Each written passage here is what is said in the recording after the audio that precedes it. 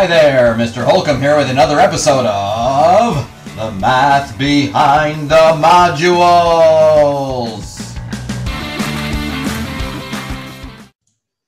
Hello, okay, welcome to Module 4, Module 4, Lesson 1, Le- Searching a Region in the Plane. So before I start though, there's a mathematics involving programming mathematics that's involved in programming at this website. So watch this video if you get an opportunity. Type this into your um, computer. This is the URL that will take you to a YouTube video. I've shown YouTube videos in this in videos before, but a video in a video loses resolution. So I just encourage you to watch that on your own. All right, so let's continue classwork. Exploratory challenge. Students in a robotics class must program a robot to move about an empty rectangular warehouse, as seen in that video if you watched it. The program specifies location at a given time t seconds.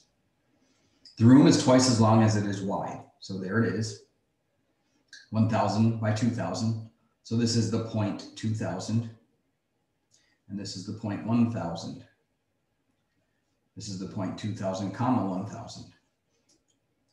Locations are represented as points in the coordinate plane with the southwest corner of the room de deemed the origin 0, 0, and the northeast corner deemed the point 2000 comma 100 in feet as shown in this diagram. The first program written has the robot moving at a constant speed in a straight line. Okay, straight line, linear equation from algebra 1, y equals mx plus b at time t equals one second. The robot is at position 30, comma 45. At what location will the robot hit the wall? Oops, I skipped.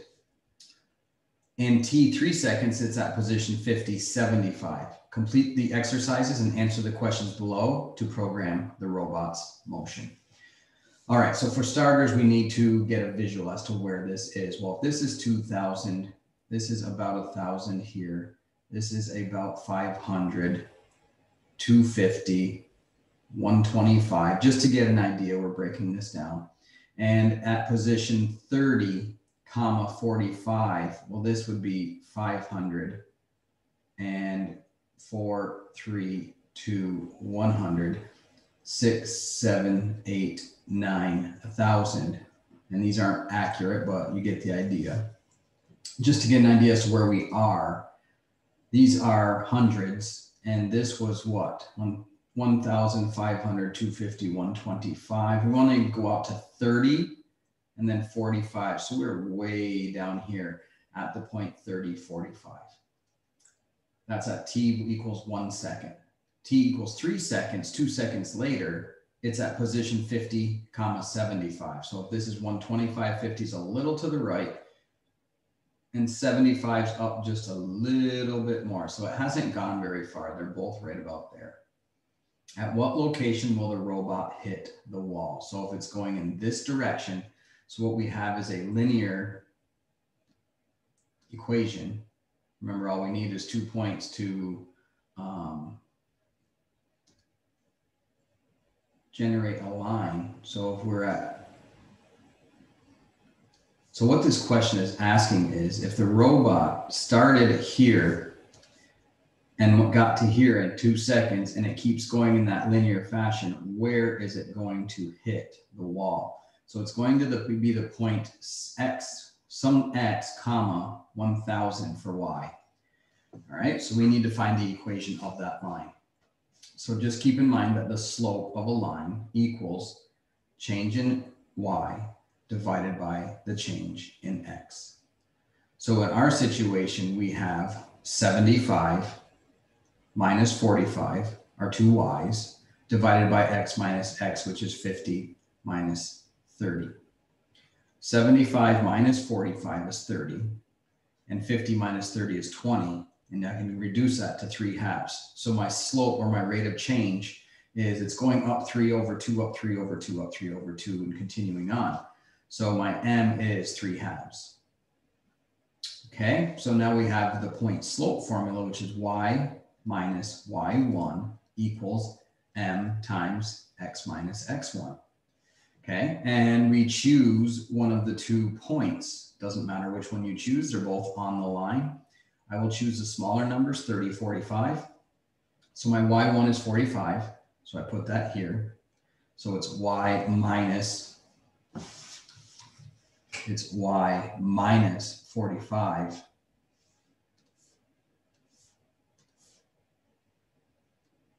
equals my slope m, and there should be a closed parentheses here, 3 halves x minus x1, which is 30. So the equation of my line is this, and I can simplify that by distributing. So y minus 45 equals 3 halves x minus and 90, 3 times 30 is 90, minus, divided by 2 is 45. And then I add 45 to both sides and I get my y. So y equals, I get my equation, I should say, my y equals mx plus b. My slope intercept form of the equation will be y equals 3 halves x. Why do I keep putting equals? And negative 45 plus 45 is going to be zero, so it just goes away. And my y-intercept is definitely the origin. So this line, I just have determined that it will go through the origin. Like so. Through those two points, 30, 45, 50, 75, where is it going to hit the wall? So notice the wall is y equals 1,000. So now I just have to say, okay, 1,000 equals 3 halves x. Multiply both sides by 2 thirds and we're done. Because the 3's cancel, the 2's cancel. 2,000 divided by 3 equals x. And 3 goes into 27 times, 6 times, 18 the remainder of 2. So it's 6.6 repeating or six and two thirds. So 2000 divided by three is 666 and two thirds. And I could always use my calculator to check that.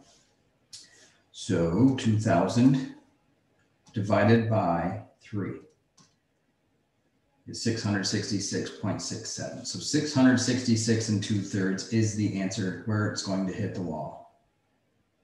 666 and two thirds, comma 1000, and boom, it hits the wall.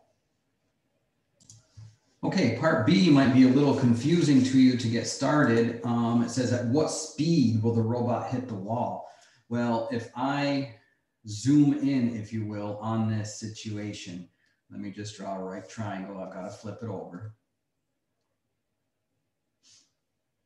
Okay, so picture this as being the two points. So this is the point 30 comma 45 right here. And this is the point 50 comma 75. Okay, so I need to know how far it went. And we know that it was at t equals one second here. This is one second. And right here is three seconds. So this distance is two seconds. Okay. So if I figure out how far this is by doing the Pythagorean theorem, I can find the distance it traveled in two seconds and divide it by two, and that's how fast it's going. So to go from 30 to 50, this distance here, let me change colors. use blue. So X is 30, X is 50, 30 to 50 is a distance of 20. It went from 45 to 75, that changed by 30. So that's our rate of change. That was this right here. X changed 20, Y changed 30. So I have a 20 by 30, and then I can find the other side by the Pythagorean theorem. So a squared plus b squared equals c squared. I don't know my c squared, but I do know a is 20 and b is 30. So 400 plus 900 equals c squared. And that's 1,300 equals c squared. And then I take the square root of both sides. And that looks like a C2. C squared. And then I get C equals the square root of 1,300. So square root 1,300 is about 36.05. So this is 36.05. And, and what is these, these distances? It doesn't really say, it doesn't say inches or feet. Yes, it does. It says feet, I believe, in feet. So this is 36 feet in two seconds. So 36.05 divided by two will give us how fast it was going per second. So at what speed will the robot hit the wall? At approximately eight, 18 feet per second. Okay, so now it says part C, at what time will the robot hit the wall? Okay, so that is another right triangle. So let me just draw a right triangle here. So uh, I wanted a different color, but I'll change it. Let's see, change the color to uh, blue. And then I'm going to do another segment from here to here. And again, I want it blue. Okay, so there's my right triangle. So at zero seconds, it was here. And we want to know how far that is. And then we can figure out what how much time has gone by when the robot hits the wall. Okay, so this is a right triangle. This distance is 666 and two thirds. And this distance is 1000. So I want to find this distance. So it's the Pythagorean theorem again. Okay, so it's a squared plus b squared equals c squared. 666 and two thirds squared plus 1000 squared equals c squared. So distance really is, if we take this, if we take the square root of both sides, then we're going to get C. So let's just call that D. So this is a distance formula. Distance equals the square root of A squared plus B squared. That is the distance formula in general. So if I continue with this now, and I'll erase this, distance is the Pythagorean theorem. So this distance is equal to this squared plus this squared. So D equals the square root of 666 and 2 thirds quantity squared plus 1000 squared. So the distance is, and then I can just go on my calculator and hit the square root of 666.66666, just to go out a little bit, squared plus 1000 squared. And we're taking the square root already, so the answer is 1,200 and approximately 1,202. We'll, we'll round. So D is approximately 1,202 feet. So that's the distance. So now distance equals rate times time. And it says at what time will the robot hit the wall? We want to solve for T by dividing both sides by R. So then we get t equals the distance divided by the rate it's moving. And we already know the distance is 1,202 feet. And the rate is 18 feet per second. So the feet will cancel and 1,202 divided by 18 is 66.78. seconds.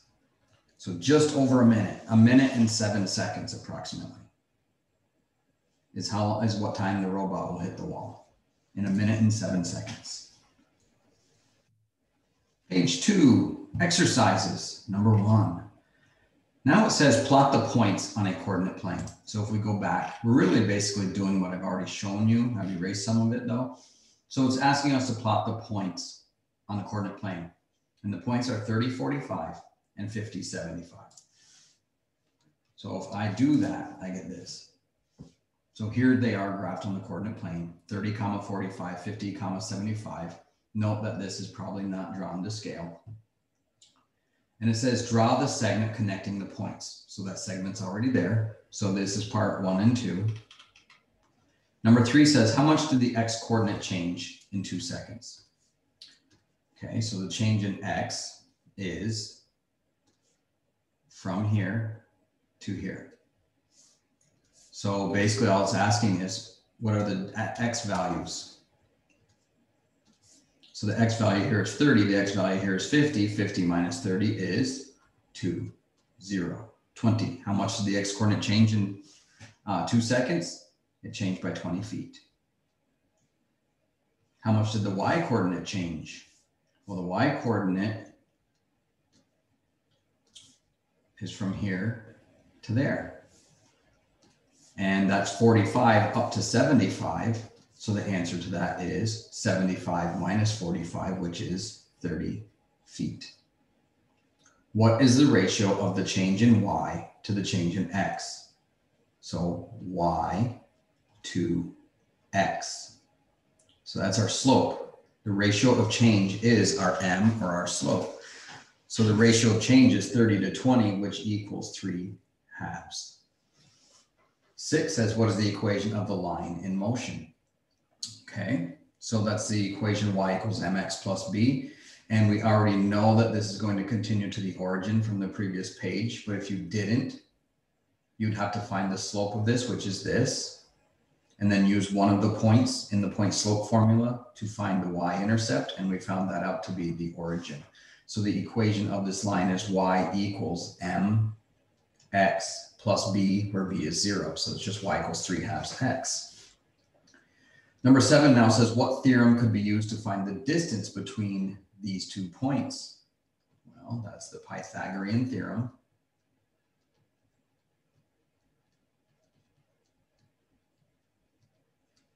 And then eight says, how far did the robot travel in two seconds?